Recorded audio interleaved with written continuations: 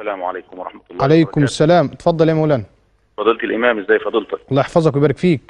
حقيقة أنا قاعد مستمتع بكلام حضرتك عن التقوى وأعمال القلوب وشايف حضرتك وأنت تقدم لهذه الحالة ال- ال- النادرة في صحابة سيدنا رسول الله صلى الله عليه وسلم سيدنا أبو بكر الصديق ومن بعده فاروق الأمة عمر بن الخطاب رضي الله عنه.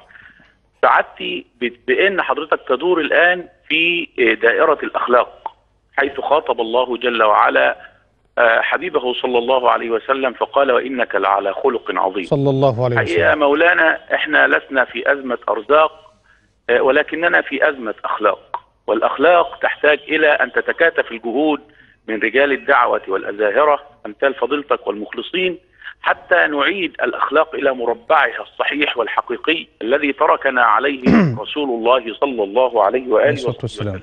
اللهم صل وسلم. وبارك حضرتك بتتكلم عن التقوى وقد وصفها سيدنا علي بن أبي طالب كرم الله وجهه فقال هي الخوف من الجليل والعمل بالتنزيل والاستعداد ليوم الرحيل.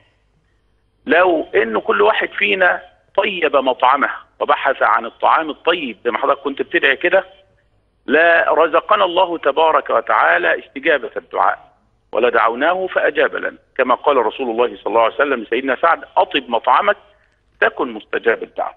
وعليه فإنني يعني أتمنى أن نركز كدعاة وأزاهرة وعلماء من وزارة الأوقاف ومن رجال الأزهر الشريف ومن سائر المخلصين في إعادة الأخلاق واستعادة القيم الإنسانية إلى مكانها الصحيح حيث نريد أن نبني بلدنا بناء حقيقيا على قواعد ثبتها وأقامها رسول الله صلى, الله عليه وسلم. وآله وصحبه وسلم.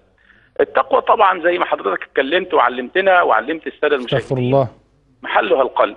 صحيح. والقلب يحتاج إلى إصلاح ومضغة صغيرة في جسد الإنسان ربما نعرفها شكلا أو توصيفا من خلال الأطباء.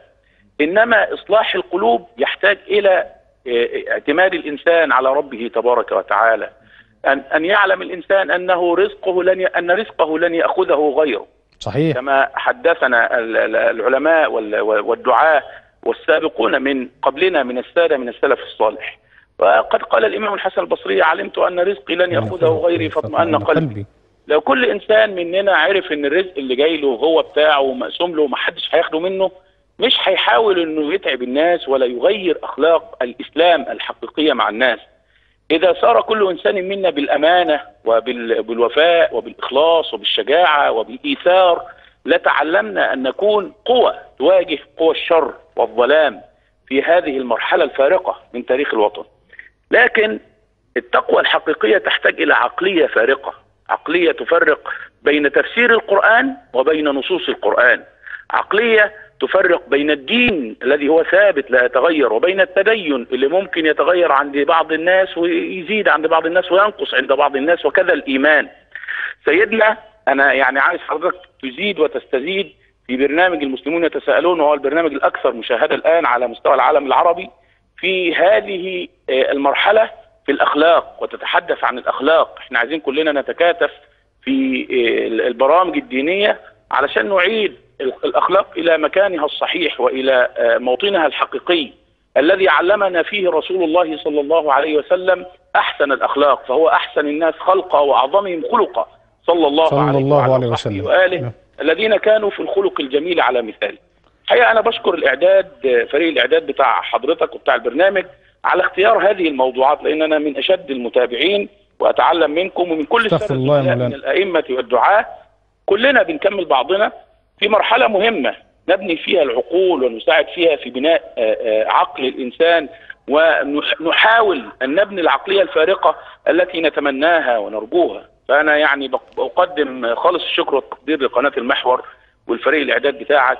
وللأخ الفاضل الزميل اللي بيطلع مع حضرتك في البرنامج في الأيام الباقية. يعني أنتم تبذلوا جهد جميل وعظيم في مرحلة مهمة من تاريخ مصر العظيمة وهذا ما نحتاج إليه. وشباب الدعوة بإذن الله تبارك وتعالى قادرون على أن يمروا آه، بالوطن وبالناس وبالأمة وبالمسلمين في هذه المرحلة. مرور الكرام وأن يبنوا عقولهم بناء حقيقيا وصحيحا وأن يصوبوا الأخطاء التي كانت في الزمان الماضي والتي حلت على أمة الإسلام فصاروا يشبهوننا أو يصفوننا بالإرهابيين أو أو حملة السلاح أو القتلة أو السفاك الدماء. لكن الإسلام دين السلام الإسلام دين الأخلاق. الإسلام يعلمنا الشجاعة والوفاء والصدق والأمانة والتقوى ويعلمنا كما قال ربنا تبارك وتعالى يا أيها الذين آمنوا اتقوا الله ولتنظر نفس ما قدمت لغد واتقوا الله إن الله خبير بما تعملون. كمان التقوى يا مولانا بتعلمنا إن إحنا نكون علماء. قال تعالى واتقوا الله ويعلمكم يعلمكم الله. من بيض قلبه وملأه صفاء ونقاء وصدقا سار بين الناس وبياض وجهه يخبر. ولو استخبى النهارده عمله على الناس يوم القيامة ربنا سبحانه وتعالى قال لنا في يوم تبل السرائر قال في تفسيرها الإمام السعدي يوم تبل السرائر أي تظهر. الألوان على الوجوه في قوله تعالى يوم تبيض وجوه وتزود وجوه. فأما الذين اسودت وجوههم أكفرتم بعد إيمانكم فذوقوا العذاب بما كنتم تكفرون وأما الذين ابيضت وجوههم ففي رحمة الله هم فيها. خالدون.